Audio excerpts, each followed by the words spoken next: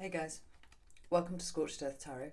This is going to be a general reading for the sign of Cancer, Sun, Moon, and Ascendant. If you don't know what your moon or ascendant signs are, have a look in the description box below. All the information you need is in there. Equally, if you would like a personal reading, that information is down in the description box as well. Uh, if you're a subscriber and returning, I really appreciate the support. Thank you so much. If it's your first time to the channel, welcome and um, I hope you would consider subscribing. It'll raise the visibility of the channel, and I really am trying to help as many people as possible. So that's why I'm here on YouTube in the first place. Um, what else to tell you? I'm on social media as Scorched Earth Tarot, um, Instagram and Facebook primarily. So if you want to come and join me over there, that would be awesome. And I don't think there's anything else to say. Uh, apart from the retrograde, Mercury retrograde starts uh, on Halloween, Samhain, which is on Thursday. Um, for those of you in the UK, or in the West at least, anyway.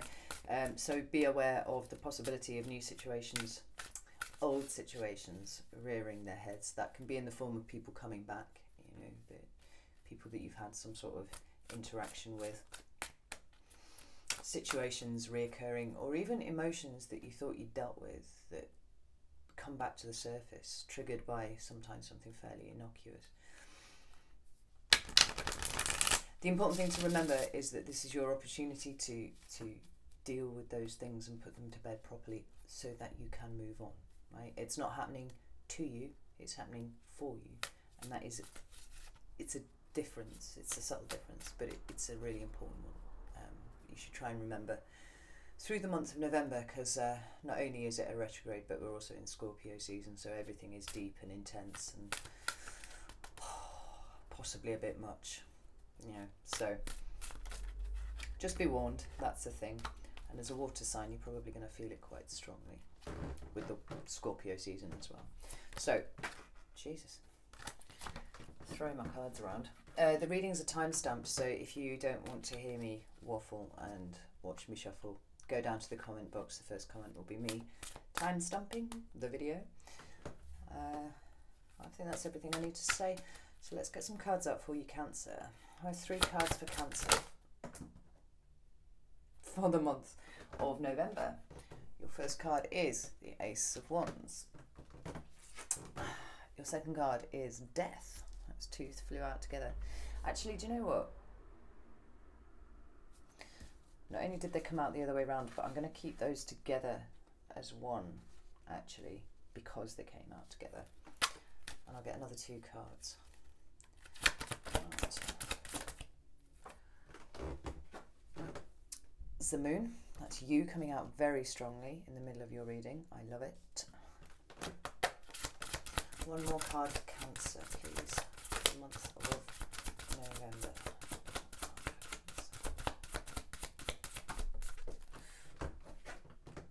The card is the Queen of Wands. Aries, Leo, Sagittarian energy. Queen of the suit. On the bottom of the deck, we have the Four of Pentacles. Right, so I'll just give these a quick shuffle and we'll do some clarifiers and then we'll get on with the reading ooh, I've invested in a new camera, so as of tomorrow, when it gets delivered, any of you uh, who are having trouble hearing, I know the setup isn't ideal, but if you had trouble with the audio, that should be fixed as of tomorrow. So, yay! So it's going to be like Christmas. I'm so excited. But in the meantime, just bear with me. I'm trying to talk a little louder than I would usually quite softly spoken most of the time. So, why is death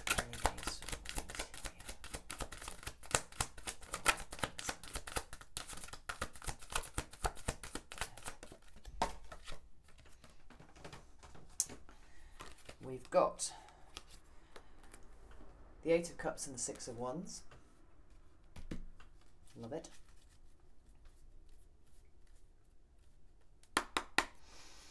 Why is the moon here? She says as she flings things across the way. Why is the moon here for Cancer? Nine of Pentacles. I like it.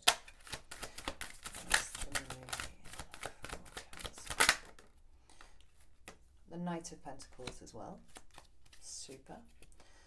And Queen of Wands. Fucking hell.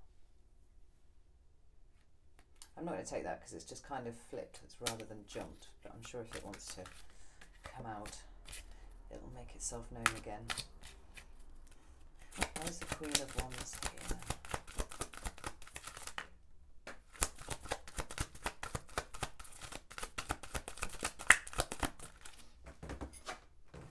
We've got the Star.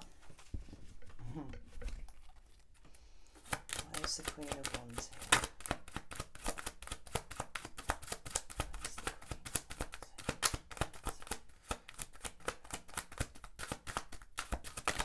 Wands here? Ten of Pentacles. Like it. At the bottom of the deck, we have the Queen of Cups. That's your Queen, Cancer. Hmm. Might have to pull a couple more cards, but we'll see how we go. Anyway. So, the first two cards that you have are Death and the Ace of Wands. This is an incredible pairing. And I'm going to bring them together because that's how they came out, rather than reading them separately. But individually, these cards are the card of Scorpio, Death. It's number 13 of the Major Arcana.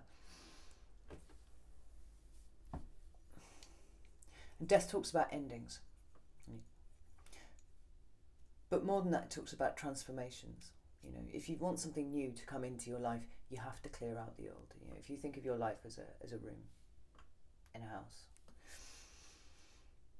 there's only so much stuff that you can put in that room before it becomes uncomfortable. You know, you, you're kind of like wobbling around furniture and boxes stacked up high and things like that. You know, it's not a comfortable environment. If you keep going and you stuff it full, you can't move in there at all. You know, it's very restrictive. It stops you from from being able to do anything, and you certainly can't put anything new in there, right? So, death is like that. You know, uh, like the mother cleaning the teenage child's room. You know, utterly ruthless. It will come in and it will take out anything that you're not using, anything that you're not wearing, you know, anything that you're not reading, all of those things, as well as like the old crockery and, and, and cups that have been left to go mouldy in the corner. Yes, I do have teenage children, I speak from experience. But the death energy is about transforming from one state to another. You know, alive, dead, you know, good, bad, well, whatever. But it's always a positive energy because whatever goes was never meant to stay. This is the important thing. It can mean physical death, but it actually rarely does. It's it's far more transformative than that. And the key with death is not to fight it. And people do. People fight change all the time. You know, they don't want to let things go. And at the bottom of the deck, on the main cards of the main deck that I was using, is the, is the Four of Pentacles, which speaks specifically of holding on to things too tight mm. you know, he's got his feet on his coin, he's clutching one to his chest, he's got one on his head. This is about holding on too hard. Death says it's time to let it go. You know, you'll have to, you know, work out how this pertains to you, because I'm talking, this is general reading, it's not specific. But uh, you should understand what it is that you need to let go. But if you try and fight it, you're actually just going to hurt yourself more in the long run let it go. Because when you let it go, something new happens. Something new can come in. You know, once you've cleared out that room, once you've got rid of those clothes that you haven't worn in five years, but you know you might fit back into at some point, you know, or eh, you know the the fifty books that you kept from when you did a particular course on something, you know, fucking twenty years ago or whatever. I'm talking metaphorically, obviously, because this is this is your internal space. This is both your head and your heart, and your soul that I'm talking about at the moment. When you let go, that thing that it is that you're clinging on to too hard, something new can come in, something new can sprout into existence. And it's the Ace of Wands, right? So the Aces are the beginning of the suit. It's fire energy here. It's very sparky, yeah. But it's a passionate, creative start in something. You know, it's something that gets you really excited just at the thought of it. So it could be setting up a business. It could be having an idea for a business. It could be meeting someone new because the ace of, of wands absolutely can be a sexual relationship. I'm not really seeing any cards on the table that would, you know, reinforce that as a thing, but it's totally possible. My friend calls this the dick card. anyway, but the point is, it can be any of those things. It could be taking up a new hobby, a new creative hobby, you know, something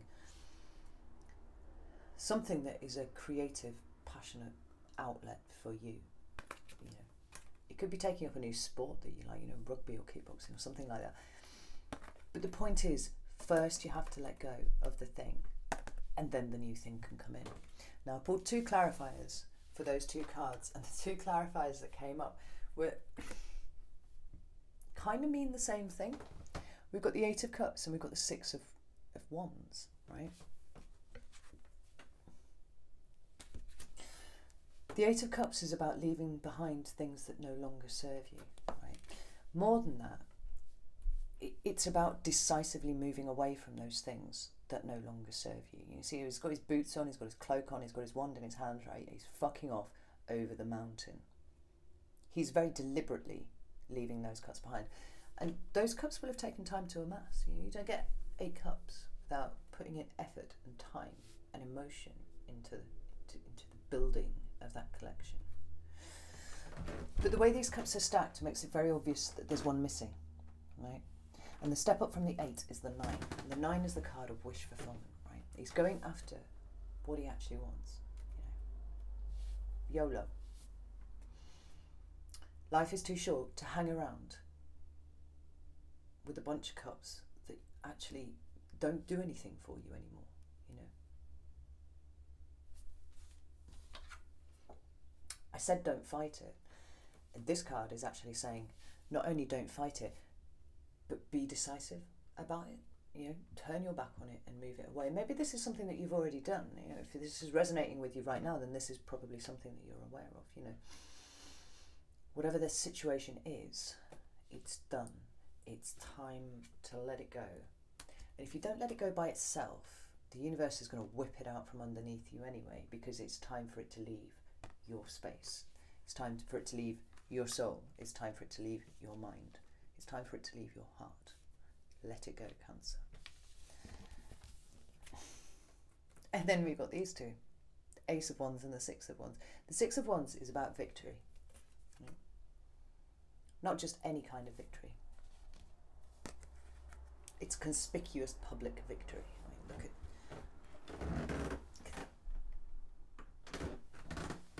you know, he's he's literally being lauded by all of these people around him. He's got a laurel wreath on his head, and it's you know, people are like, "Way, you did really good." They are acknowledging his achievement in that card, and it's come out directly underneath the wand, the Ace of Wands. You know, two cards of fire, of passion, of, of you know, we're living in the moment somewhat as well. I mean, that's what the wands are very much about.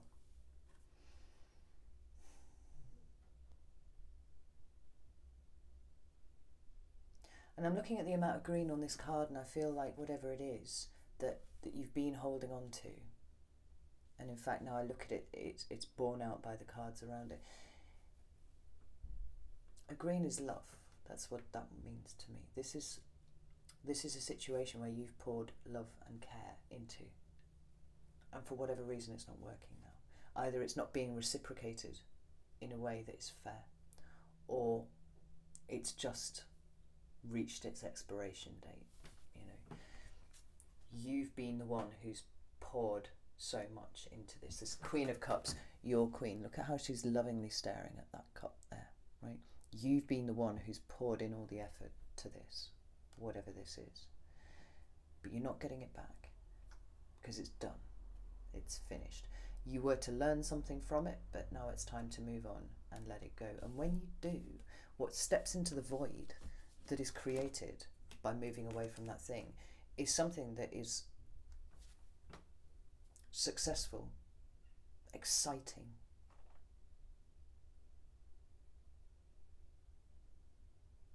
And pretty inspirational for other people, actually, I would say. You know, all of these people who are coming out and congratulating this person on whatever it is that they've achieved, you know, some small part of them is probably wishing that they were the ones on the horse parading through town, you know? It, it's an inspirational thing, whatever your ace of wands is. And it truly could be just choosing to live your life differently. You know, I just said, YOLO, I, you know, like life is too short to live it on other people's terms. It's too short to live it doing something that you're not entirely, you know, like eaten up with. Can't remember think of the word that I want, but you know, this is the thing. This is this is someone living their best life right here. Even if it isn't a new hobby, relationship, you know, any of those things, just choosing to live your life differently is something that people will notice. And the next card that you've got is the Moon, and this is your card. It's the card of Cancer, it's 18 in the Major Arcana. And it's a particularly beautiful depiction, I think. But the Moon talks about things that are hidden, things that are obfuscated, you know, can be secrets. But often I take it to be the subconscious because you know, we've got this owl here and his swooping over this lake. Whatever it is, it's deep water, and water, as we know from the tarot, it talks about emotions and feelings and stuff. And still waters run deep. But the moon is there, and the moon is so bright on that card. Look at that. It's literally lighting up everything. And owls are messengers from spirit so it could be that you've been having a bit of intuition recently about certain things. That's messages coming from the other side that's telling you, you know, giving you guidance on something. Maybe you've been having some pretty vivid dreams. That is guidance from spirit, trying to help you without pushing you, trying to help you get into the right direction.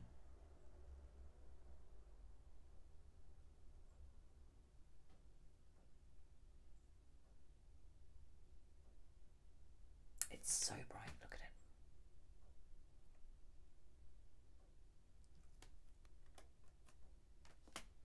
It could speak of work that you've done on yourself. It could be shadow work. It could be, you know, you pulling apart a little bit of your psyche and trying to work out exactly what it is that you've been holding on to, and more importantly, why you've been holding on to it. Because a lot of people do things without even realizing why that they're doing them. You know, they, they, they don't stop to consider why they've had the reaction that they have or why they've decided to do a particular thing. And there's, there's internal drivers for that. And until you understand those, until you can pull them apart and get a sense, and as I pull this up, these shadow cards underneath, we've got the Hermit and we've got Temperance, you know, which literally talk about going within and healing yourself.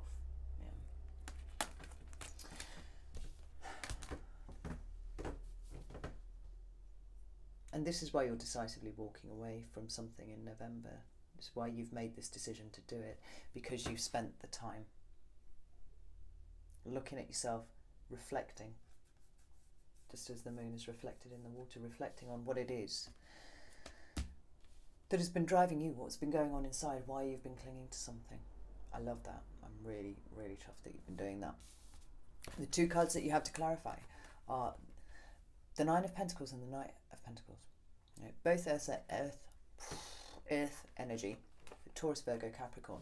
But I, I don't think that these are people to you. I think this is energy, right? And the energy of these two cards as is as follows, right? So the Nine of Pentacles is about independence.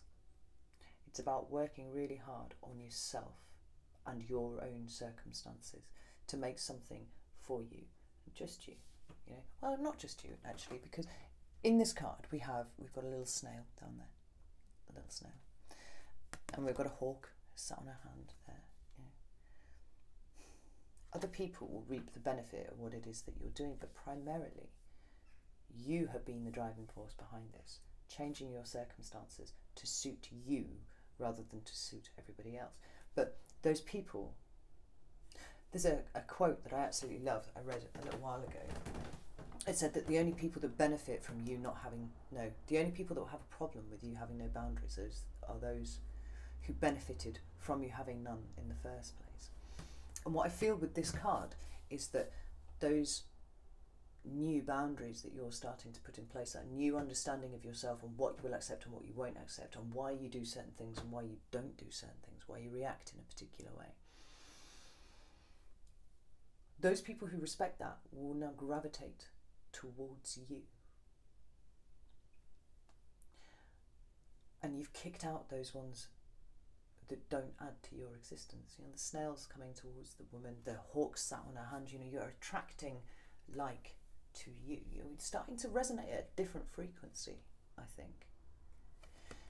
And it's powerful and it's independent and it's it's someone who is not afraid to be by themselves, as so many people are. You don't need external validation or the external validation of being with someone else or wearing a particular brand of clothes or living in a certain area, you know, any of those things. It's quite a great deal of self awareness implied here.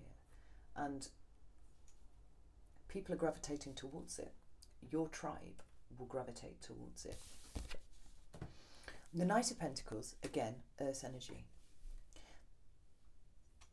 The Knight of Pentacles is probably the least dramatic and the least exciting knight in the deck. He's certainly the slowest, without question. Yeah. but he's dependable, he is committed. He's moving slowly because that pentacle that he has in his hand there, he's very, very aware of the worth of that pentacle, right? He knows how valuable that is. And his job is to transport it somewhere else, in one piece, unscathed, unscratched, untarnished, in any way. And I don't think it's any accident that it's come out directly after the Nine of Pentacles because this is you asserting your shit in your space and putting yourself where you probably should have been for a long time, but it's taken you this this time, this reflection, this kicking out of things that are in your space that shouldn't be there anymore. But you're ready to start progressing with that and start moving that into all different areas of your life. Because it be, could be that this is, is literally just an internal state at the moment. But as within, so without, once you start making those changes internally, you will start to see them reflected in the 3D world. And the pentacles are all about the material world and what we can perceive around us in the 3D. And I think that, so this is what's going on inside, outside, you're going to continue that work and it's going to be slow because the, Knight of Pentacles is slow, you know, but it's methodical and it's fastidious. And if if you wanted to task any of the knights with getting a job done, that's the one that you would use because not only will he do it with care and with diligence, he will also get it done. He will finish the job. The Knight of Swords might not. The Knight of Wands certainly won't the Knight of Cups is, is, is too daydreamy to pay any attention to anything. This is really solid energy moving forwards. Those changes that you are that you have wrought inside yourself are going to start manifesting out around you. But it's going to be slow. It's going to take some time. But you are definitely on the right path. The final card that you've got is the Queen of Wands. I love the Queen of Wands.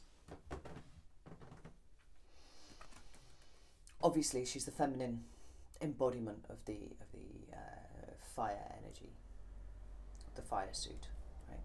So generally, as a queen, she's receptive. You know, she doesn't go out looking for things. Things come to her. You know, people come to see the queen. She doesn't go to see them.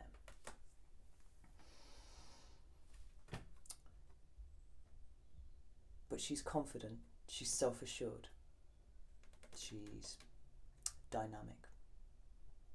Of all the queens, she's the one that I think actually is probably the happiest doing her own thing. Obviously, she has a male counterpart, but this is there like this. This queen actually reminds me of my grandmother. She was an old gypsy, and um, she used to periodically just go missing, and, uh, and nobody would would know where she'd gone. We get a phone call. Yeah, has anybody seen yeah, her? And she'd have fucked off on holiday to somewhere and just not mentioned it to anyone. Um, I get the same kind of vibe of the Queen of Wands as I do of my grandmother. You know, she's she she doesn't have to answer to anyone.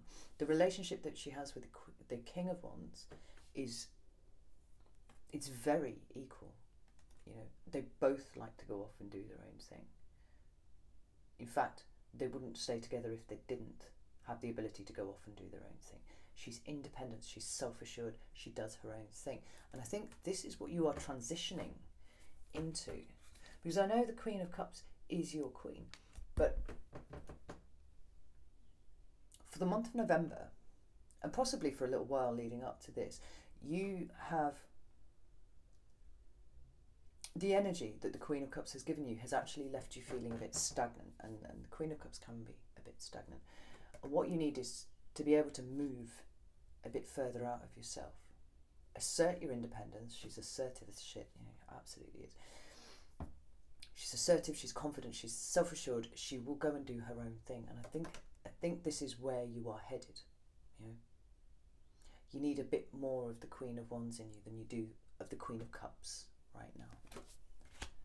And the two cards that came out to clarify were the Star and the Ten of Pentacles. Now, the Star's the card of Aquarius. That's number 17 in the Major Arcana.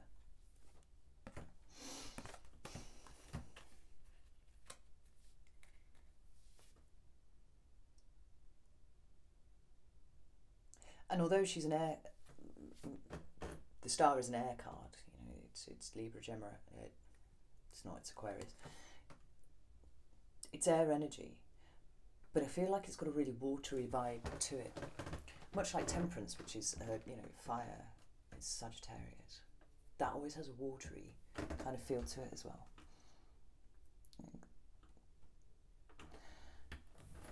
She's balancing her emotions she's balancing herself as a human being. You know, water is emotion, but we've also got the ground here. She's got one foot in, one foot out. She's pouring into both. She's naked, so she's vulnerable, but she's absolutely unconcerned by this. You know, and that's a level of maturity that I think you're aspiring to. She's shedding her fear. You know. If you look at that card and imagine yourself being that person, what, what you feel is the horror of somebody seeing you naked next to a lake, you know, because you would be judged or you would be humiliated or, or one of these things. The Star card talks about losing that fear. The Queen of Wands is fearless, completely fearless, possibly to a fault. But it's talking about not being afraid to lose your vulnerability, to lose your cloak, your tethers, those things that, that, that stop the real you from shining within. Don't be afraid to be vulnerable because there's a tremendous healing that comes with that.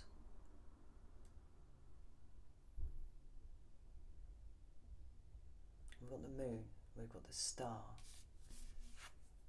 we've got you know, the Eight of Cups. These these things are all happening at night. Yeah? It's all happening in your subconscious, and that's tremendous. I love it.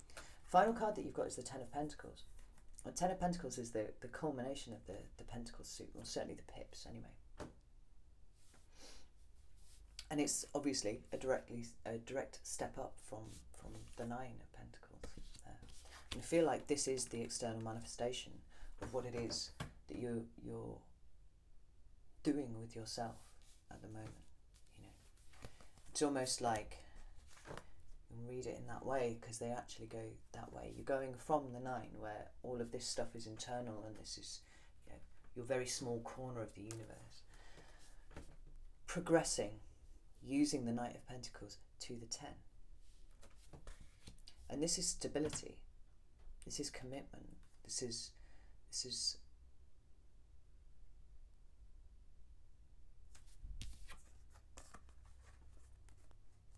healing yourself to be able to appreciate those things that you are now bringing into existence.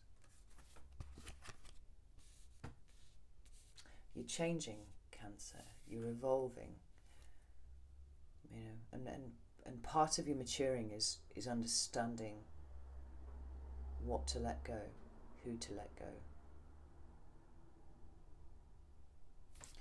You know, this queen has a great love of self. She really does, you know.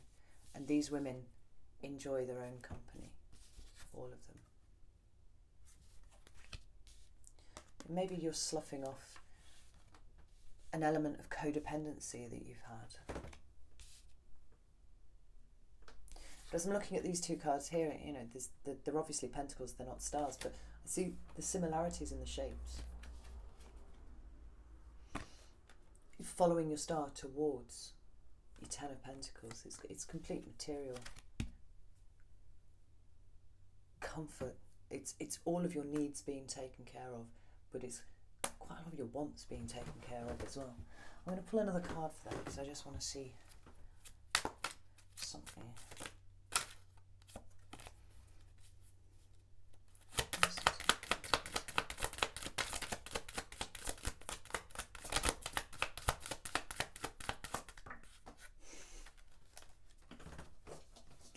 I'm giggling because the card that just jumped out was the King of Wands. He's been putting in quite a few appearances this morning. I've been using, I've used like four different decks this morning for different readings, and the King of Wands has popped out in all of them. But I'm smirking because he's the counterpart to the Queen. And as it sits here like this, we've got the Queen, you healing, you manifesting all this this cool stuff into your existence that you like. And then we've got the king. We've got the king of wands underneath. So this is again Aries, Leo, Sag energy. It's the king is astrologically speaking Leo, and the queen is Aries. But this is energy, you know. And as much as I don't really bother with love readings particularly, because I think there are a lot of talented readers out there for whom that is their forte, and I don't intend to trample on their toes with that because I don't read that way. I'm more interested in what's going on with you internally than whoever's coming in externally. It is the counterpart to this new energy that you're you're rocking at the moment, Cancer. And once you've healed, you create this for yourself. You and the Nine of Pentacles and the Queen of Wands and the Star. This is all of your creation. Once that's created, you're kicking out a different frequency and you are attracting people to your existence who complement you, not complete you, right? Like this, this energy here, this, this, all of this. This is codependency. This is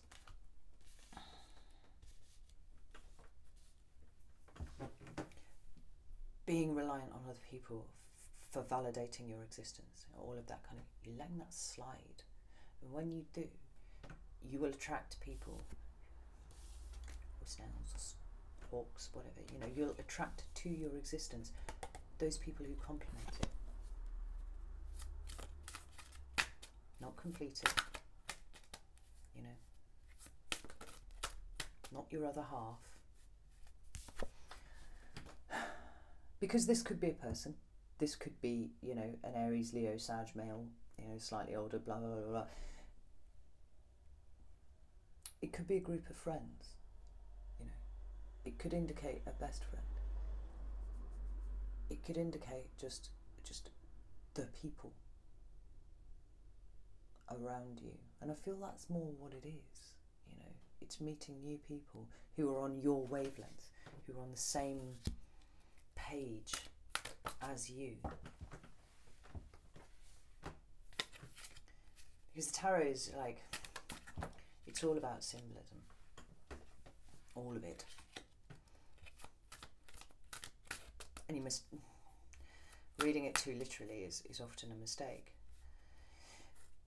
But if you're resonating at this frequency, like the Queen of Wands, and you are throwing out that kind of vibe, naturally, those that will be attracted to you are your, your counterparts, those who add to your existence.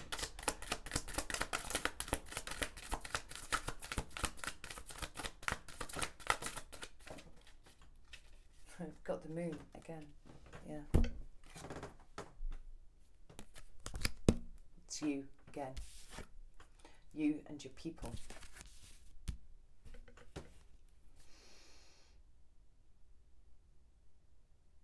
And it's lovely. I'm not sure I get a sense of the retrograde having anything to do with this, to be honest. There's a great deal of internal work that's gone on here, and I think it's entirely aside to that. But you're so close. I really love it. Yeah. So if this resonated with you, I'd love it if you just like the video or something or comment. It'd be great. And please subscribe. Like, that would be amazing. Um, I'm going to be uploading video content more frequently now because this is my full time gig. This is what I do. So um, expect to see a lot of me. And if you um, subscribe, then you'll get notified when I upload new stuff anyway. Um, this actually warms the cockles of my heart, I'm not going to lie. It's a really nice reading, Cancer, even if it's a bit difficult at the beginning of the month. So I'm going to leave it there. Um, best of luck. You've got this, and you're so close. So close. Until next time, take care.